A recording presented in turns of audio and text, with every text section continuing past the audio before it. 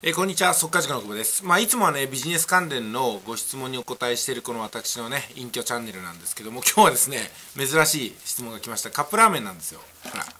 カップラーメンの賞味期限が切れているのを見つけたんですけども、食べれますか？ってことだったんですよね。例えば私が今この手にしているね、カップラーメン。えー、2018年9月19日が期限なんですよ。ということなんで、まあ、おおむね2年とは言わないですけども、1年半ぐらい過ぎてるんですよね。じゃあ、これを私が食べるかどうかってことからお話ししますけども、私はまだこれ食べませんね。そのまま捨てます。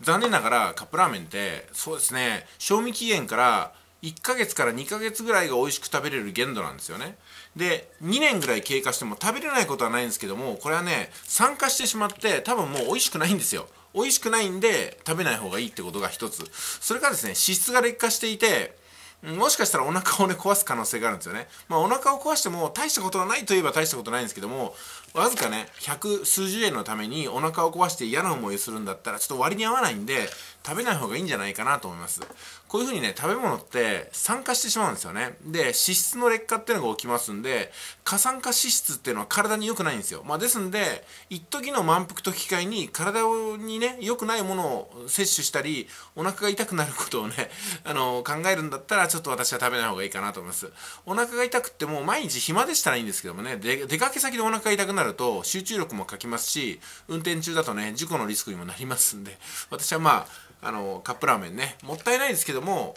捨てておくってことかなと思います。それであのカップラーメンって時にね買い込むことがあるじゃないですか。その時に日付のこと忘れちゃうんですよ、まあ、ですんで日付を上に書くとかねマスキングテープをしてそのテープの上にあ何日までに食べましょうって書くとかねそういう風にした方がいいのかなと思います。で最近はですねこのカップラーメンみたいなのをチャーハンにして楽しむような動画とかもありますのであのそういうのも参考にしてねなんとかこうあの毎回の食事の中で美味しく消化する方法を考えておけばいいのかなと思いますカップラーメンをねやっぱ食べる日ってのもしっかり作っておくとかね、いろいろ工夫するべきかなとは思うんですけどね。まあ、ということで、回答としましてはね、繰り返しますけども、賞味期限切れても食べれますけども、美味しくないっていうのが一番の原因。ね、美味しくない、美味しくないよっていうこと。あと、まあ、お腹を壊すリスクは少ないんですけども、過酸化脂質によって体には良くないものを取り入れるということなんでね、えー、潔く捨てて、まあ、100円ぐらいですからね、うん、で新しいのを買って食べてくれればいいんじゃないかなと思います。まあそんなとこですかね。で今回は以上です。